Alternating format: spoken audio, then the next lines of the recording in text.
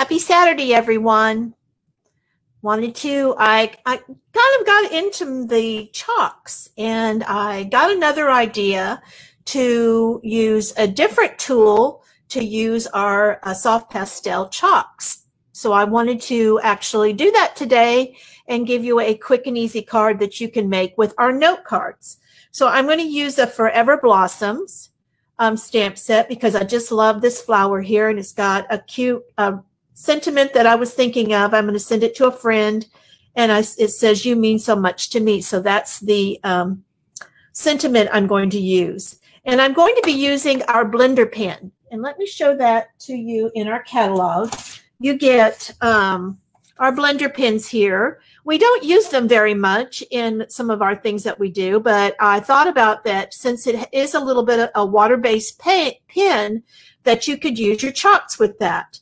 So I'm going to be actually filling in the flowers with the blender pens and you get actually, I believe, with this, you get um, three pins with this order. So if you decide that you want to use something like that, it's on page 129 in our catalog. But I decided that our note cards are a great tool to have in your toolbox um, when you want to make a quick and easy card. This um, package comes with 20 cards and envelopes. A great way to cut to uh, put it together a very quick card, really no cutting. All you have to do is stamp, put a sentiment on it, do something on the inside, and you are done with whatever you want to send. Um, I think this is a great thing to keep in your toolbox. So I'm going to show you how to do that. So let's get this started. Hope everybody's having a wonderful weekend.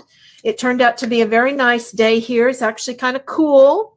So I'm uh, enjoying the day. I did a little things outside and I came in and I got this idea of using my blender pen. So I've said, I'm going to come in and do a video and show you guys how to do this. So I put this already on my uh, block and I'm going to use my Memento ink um, to stamp this onto my card. So I'm going to go ahead and get this inked up really good. And I'm going to go ahead and just stamp that on and I'm going to do it so it's got a little bit of a curve to it. So I kind of had an idea. So I'm leaving a little bit of room at the bottom to put my sentiment I'm going to go ahead and stamp that on. There you go. Stamping's all done there.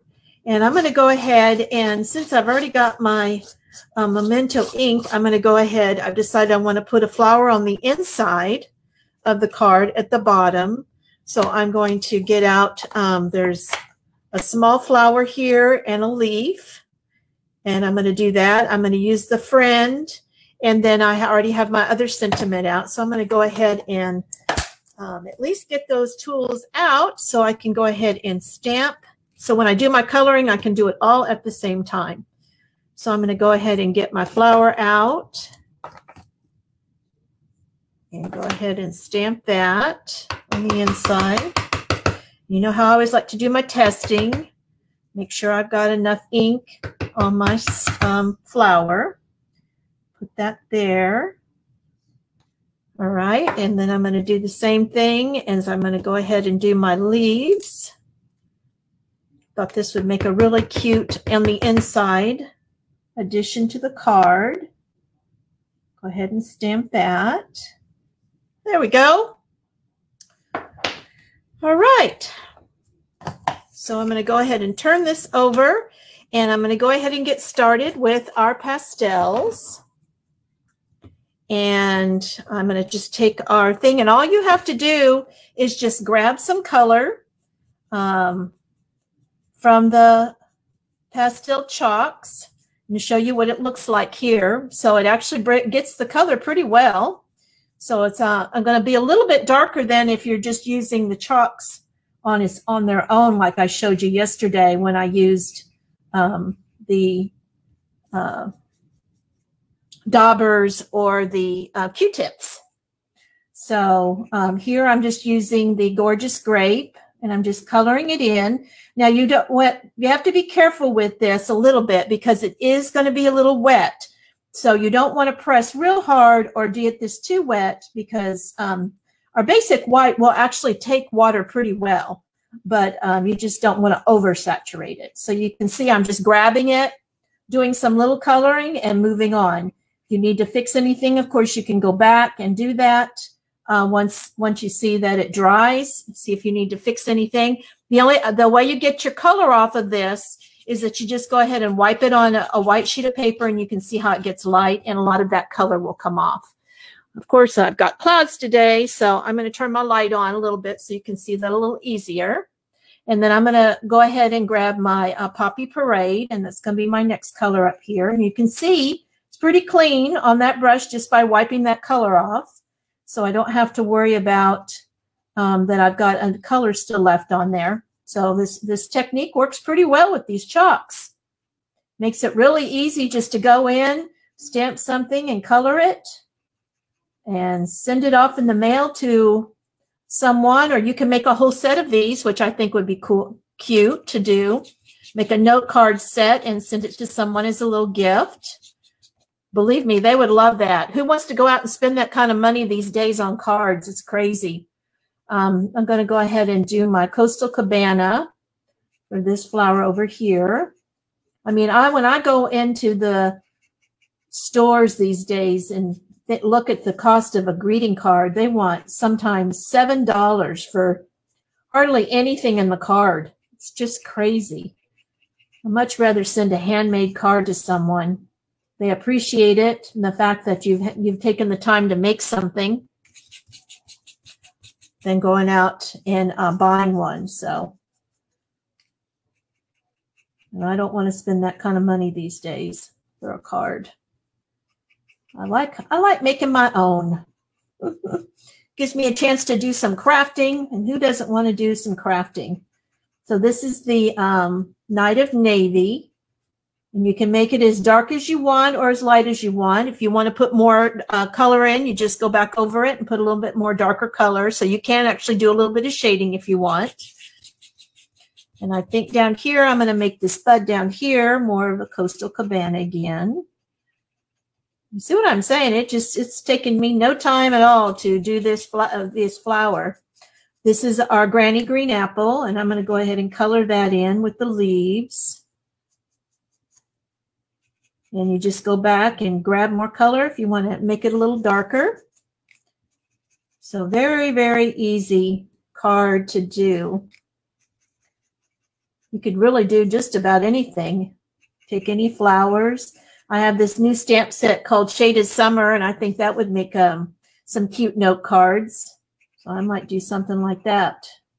It's got some flowers and some pretty sentiments. I'll make this one just a little bit greener over here. So I'm going to add a little bit more. So I'm going to show you that you can kind of go back over and just make it a little bit more greener if you want. All right. And I've got my stem here, so I'm going to get my um, mossy green right here, and I'm going to go ahead and just fill that in very lightly, just so I don't have any white showing. You can do that with, um, just don't put a lot of pressure on and just kind of follow the stem.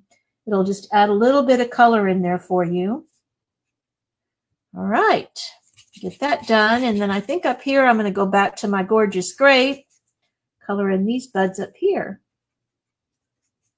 And see what I'm saying? Done.